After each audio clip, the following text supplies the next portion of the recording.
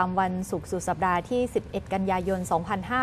2558 กับดิฉัน อรุณโนไทยศิริบุตรค่ะ วันนี้เราจะพูดคุยกันหลายเรื่องในขณะที่จับตากันไปที่ประเทศ ใกล้ๆเรานี่เองนะคะเขากำลังมีการจัดการเลือกตั้งสสหลายคนนี่นั่งตามองแบบปิบๆนะคะบอกว่าอยากจะให้มีในบ้านเราเหลือเกิน แต่ก็ไม่เป็นไรค่ะ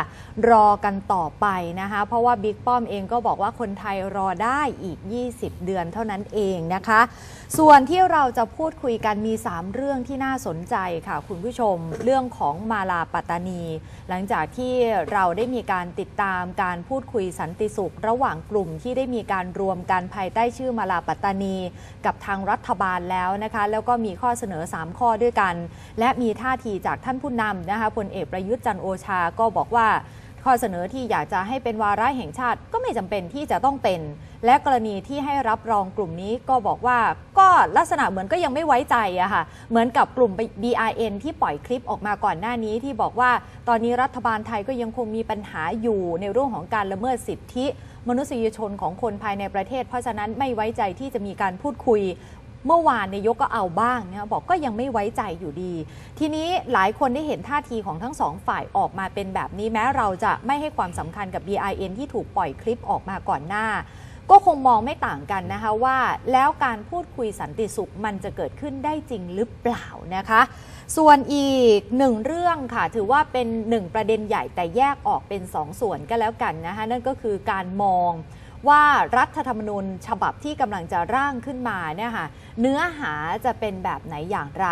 จะเป็นเหมือนกระแสข่าวที่หลุดออกมาก่อนหน้านี้หรือเปล่านะคะว่าหนึ่งเนี่ยจะต้องมีคอปปคงอยู่ เรื่องของนายกคนนอกก็จะยังต้องมีอยู่ เรื่องจำนวนหรือว่าที่มาของสวก็ยังคงจะต้องพิจารณาแล้วก็ปรับแก้กัน รวมไปถึงระบบของการเลือกตั้ง และการให้อำนาจแก่องค์กรอิสระในการจัดการกับพรรคการเมืองที่มีบทลงโทษร้ายแรงมากขึ้น รวมไปถึงการให้สิทธิทางพลเมืองกับประชาชนในการตรวจสอบภาคการเมือง ในภูมิภาคมันจะยังมีอยู่หรือไม่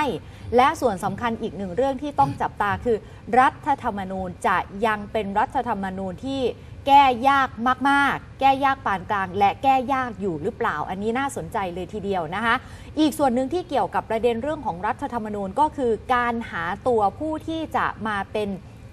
คนร่าง นั่นก็คือกรรมการร่างรัฐธรรมนูญ 20 คน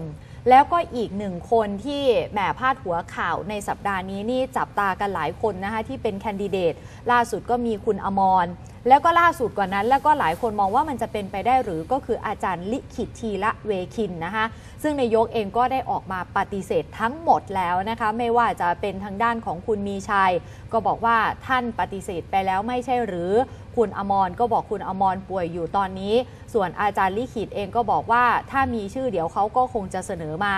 แล้วก็อีกหลากหลายมุมเสนอว่า นิติราชควรที่จะเสนอเข้ามาไหม บอกถ้าอยากมาก็สมัครมา แต่ถ้าจะให้เชิญไม่เชิญอย่างแน่นอนนะคะนี่คือสิ่งที่พลเอกประยุทธ์ได้บอกไว้ เรามาจับตาแล้วค่ะว่าโอกาสที่ใครจะได้เข้ามานั่งเป็นหนึ่งใน 21 กรรมการร่างรัฐธรรมนูญนั้นเป็นแบบไหนอย่างไรนะคะทั้งหมดพูดคุยกับคุณบุญกลมดงบางสถาน และคุณสุภเกียรติธารณกุลค่ะสวัสดีค่ะสวัสดีครับค่ะ แหมเดากันยากจริงนะคะ แต่นายกก็บอกแล้วนะคะ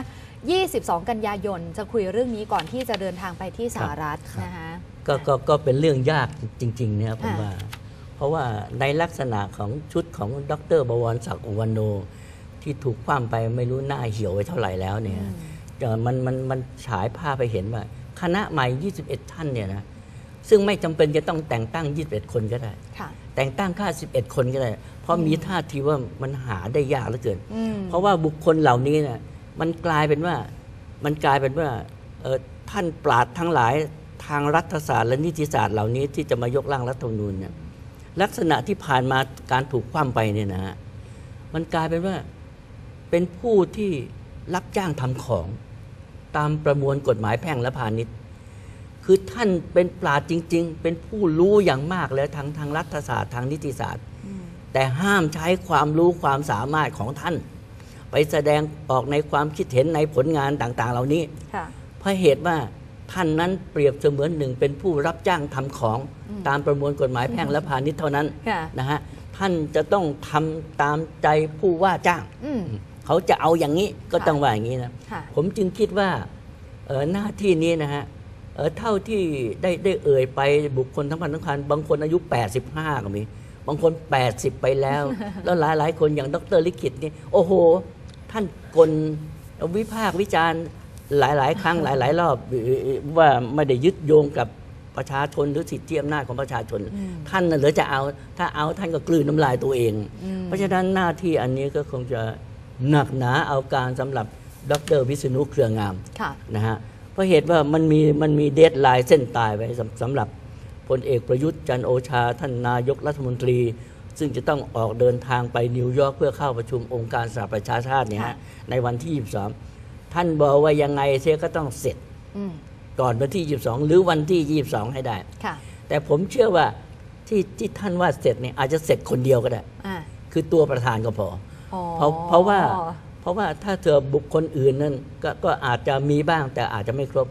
แล้วในขณะนี้ผมเชื่อมั่นว่า คงจะแต่งตั้งไม่ถึง 21 คนอืมเพราะเหตุว่าบรรดาปราดรัฐศาสตร์ และนิติศาสตร์ของเราเราทั้งหลายเนี่ยเขาจะต้องนึกถึงตัวเองเหมือนกัน ว่าคุณจะเอาชื่อเสียงหรือจะเอากล่องอืมคุณจะชื่อเสียงหรือจะเอากล่องค่ะนะฮะเพราะเหตุว่าลักษณะนี้มันเป็นเป็นเงินค่าตัวเองค่าชื่อเสียง เกียรติยศชื่อเสียงนะฮะเอ่อเอ่อรวมทั้งครอบครัววงตระกูลของท่านนั้น เพราะได้รับความเชื่อถือว่าเป็นปราดอย่างดี แต่ว่าถ้ามาเอ่อนั่งทำงานในลักษณะที่ผู้ว่าจ้างเขาบอกว่าจะเอาอย่างนี้ยท่านเป็นผู้รับจ้างทำของเนี่ยท่านจะเอาไหมอืมนะครับผมผมก็คิดว่ามันก็เป็นเรื่องยากแต่จำเป็นต้องมีจนได้นะครับนะฮะเอ่อลักษณะอย่างนี้ก็ก็ดรวิษณุก็คงจะต้องไปเกลี้ยกล่อมใครสักใครมามามาจนจนได้นะ แต่ผมว่าในครั้งแรกเนี่ยคงจะไม่เต็ม 21 คนนะฮะเหมือนสนชตอนนั้นใช่ไหมคะ เอาเอามาจำนวนหนึ่งก่อน แล้วค่อยครับเดี๋ยวค่อยครับแต่งตั้งเพิ่มเติแต่มคนไหนว่านอนสอนง่ายก็มาอืมอืมมันงั้นก็ไม่ต้องมา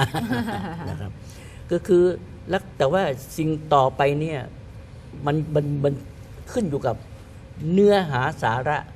ของรัฐธรรมนูญที่จะยกร่างขึ้นใหม่มากกว่าค่ะเอ่อด้วยเหตุที่ว่ารัฐธรรมนูญฉบับ ดรบวรศักดิ์ที่ถูกล้มไปนั้นน่ะอืม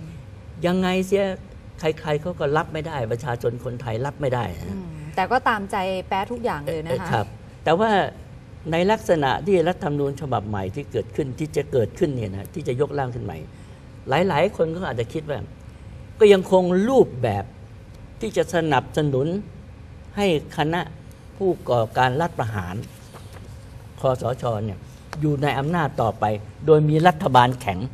ในลักษณะที่เอ่อ บางครั้งก็อาจจะเป็นสั่งการได้โดยเบ็ดเสร็จเด็ดขาดอืมนะฮะเอิ่ม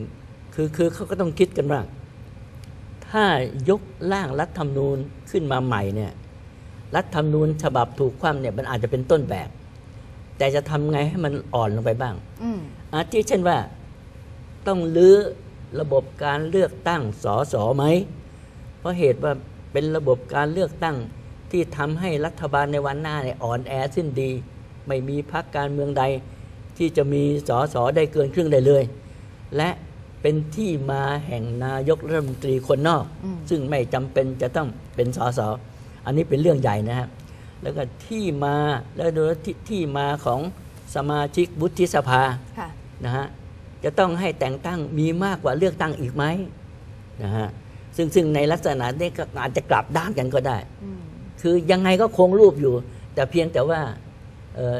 เจ็ดสิบเจ็ดเจ็ดสิบเจ็ดคนเนี่ยกลายกลายกลายอาจจะกลายเป็นเอ่อสัตว์เอ่อคือคือเจ็ดสิบเจ็ดคนเนี่ยอาจจะกลายเป็นแต่งตั้ง ส่วนอีกร้อยยี่สามคนเนี่ยอาจจะกลายเป็นเลือกมาก็ได้อ๋อสลับกันนะฮะแต่ก็ไม่ไม่ไปอย่างนั้นถ้าจะถ้าเผื่อว่าจะให้คอสช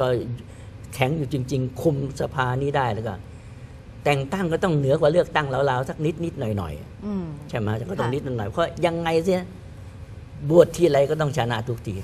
แต่นี้สอสอเหมือนกันนะค่ะสอสอในลักในในลักษณะที่ว่าเนี่ยในในลักษณะที่ว่าเนี่ย มันจะยึดโยงกับอำนาจอธิปไตยของปวงชนชาวไทยจริงจริงได้หรือเปล่านะฮะเอ่อ ซึ่งจะสามารถทำให้มีรัฐบาลแข็งได้ได้ไหมนะครับอืมก็คือรูปแบบการเลือกตั้งจะเปลี่ยนจากเดิมที่ไปยึดเอาของเยอรมันบางส่วนมาครับหรือเปล่าซึ่งใช่ซึ่งไหมซึ่งคะซึ่งมันทำให้รัฐรัฐบาลอ่อน จะต้องมีนายนายกคนนอกเข้ามาอืมนะฮะซึ่งเมื่อมีนายกคนว่าเข้ามาก็สามารถคุมทุกภาคการเมืองได้หมดเลยค่ะนะครับ แล้วจะต้องจะต้องมีบทเฉพาะการที่เกี่ยวกับต้องเป็นรัฐบาลต่อไปอีกสองปีได้ไหมนะฮะในในรัฐบาลผสมนี่ด้วยเปล่า นะฮะอ่าก็ที่ว่าที่เรียกว่าเป็นรัฐบาลปรองดองแล้วก็ต่อได้อีก 5 ปีอะไรเงี้ยจะมีไหมนะค่ะแล้วนอกนั้นยังต้องยังต้องกล่าวถึงว่าที่สำคัญที่สุดก็คือว่าสารรัฐธรรมนูญเนี่ยยังให้อำนาจยิ่งใหญ่มหาศาลชนิดว่าชนิดว่าชี้เป็นชี้ตายการเปลี่ยนแปลงแก้ไขรัฐธรรมนูญในยกสุดท้ายได้หรือเปล่าอืมอันนี้เลยแล้วที่สำคัญที่สุดสุดยอดก็คือว่า เราจะมีคณะกรรมการยุทธศาสตร์ ปฏิรูปและการและการปรองดองแห่งชาติ หรือคอปปเนี่ยอยู่ในรัฐธรรมนูญที่ยกร่างใหม่ได้อีกไหมอืมเพราะเห็นว่าใครๆเขาก็วิจารณ์กันว่านี่คือคณะรัฐประหารที่ถูกต้องตามกฎหมายที่บัญญัติไว้ในรัฐธรรมนูญ ซึ่งจะยึดอำนาจรัฐบาลนะฮะหรือยึดอำนาจการบริหารเอ่อเอ่อนิติบัญญัติเมื่อไรก็ได้ ใครจะทำไม เพราะว่าเป็นผู้ทรงรัฐาธิปัตย์อย่างแท้จริงค่ะนะฮะแล้วก็ยังจะกล่าวถึงการเปลี่ยนแปลงแก้ไขว่า เพราะว่าลักษณะเอ่อเปลี่ยนแปลงแก้ไขรัฐธรรมนูญเนี่ยมันจะทำได้จริงหรือไม่ ไม่ใช่ว่าบัญญัติว่าทำได้ แต่ว่าใครทำเข้าก็ก็ต้องจะต้องขึ้นศาลไปติดตารางเสี่ยงในการติดตารางเนี่ยมันมันเข้าหลักสากลหรือไม่นะอันนี้ผมยังคิดว่าเป็นปัจจัยสำคัญที่จะทำให้คนที่จะยอมรับมาเป็นคณะกรรมการยกร่างรัฐธรรมนูญใหม่นี้ต้องคิดให้มากอืมนะฮะต้องคิดให้มาก แล้วจะต้องเกิดการต่อรองอย่างมากเพราะเหตุว่าเอ่อ บางคนเนี่ยเขาอาจจะคิดถึงเกียรติยศชื่อเสียงและความถูกต้องในระบอบการปกครองประเทศไทยก็ได้นะไม่ใช่เอ่อถือเอาเงินเป็นตัวตั้งเดือนละล้านกว่าอย่างเงี้ยค่ะลูกน้องอีกต่างหากนี่ก็อาจจะไม่ใช่นะ อันนี้ผมก็ก็ก็เอาแค่นี้ก่อนเพราะเหตุว่า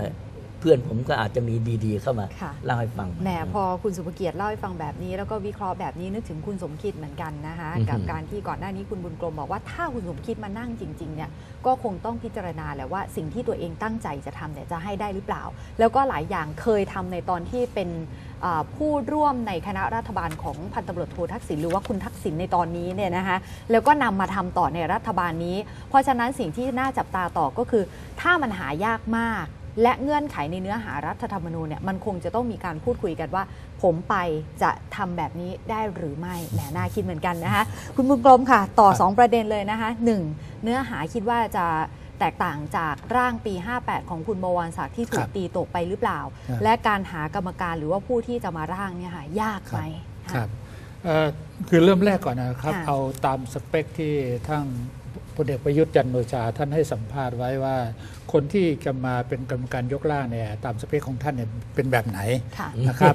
คือท่านให้สัมภาษณ์นี่ว่าหนึ่งต้องมีความรู้ทางด้านกฎหมายอ่านะครับสองต้องเข้าใจสถานการณ์อืมว่าตอนนี้สถานการณ์เป็นไงค่ะสถานการณ์ข้างหน้าจะเป็นยังไงอ่านะครับตั้งอดีตแล้วก็อนาคตใช่อีกนิดครับนึงเป็นหมอดูได้เลยเออใช่ฮะสามต้องรู้เจตนารมณ์ของตนค่ะรัฐบาลและคอสชอืมว่าเราจะเดินหน้าขับเคลื่อนประเทศ ไปอย่างไรค่ะอันนี้ชัดเจนนะค่ะเพราะฉะนั้นอืมคนที่จะเข้ามาเป็นอ่าเป็นประธานกรรมการยกร่าง หรือเป็นคณะกรรมการยกร่างเขาตามนะครับ ต้องมีสเปคตามที่ทางพลเอกประยุทธ์ท่านต้องการกำหนดหรือคอสชต้องการเนี่ยนะครับ ซึ่งผมว่าในวันนี้มันไม่ใช่เรื่องง่ายนะครับอืมผมขออนุญาตเสริมความเห็นของพี่สุภเกียรติค่ะนะครับ ว่ามันไม่ใช่เรื่องง่ายเลยนะครับ เพราะว่าหนึ่งมันมีปัจจัยมันมีปัญหาเยอะนะครับ สิ่งที่คนจะเข้ามาเป็นอะนะครับ ก็ต้องดูว่าเอ๊ะที่คุณบวรศักดิ์โดนไปเนี่ยเพราะอะไรอืมนะครับเอ่อเขาจะมี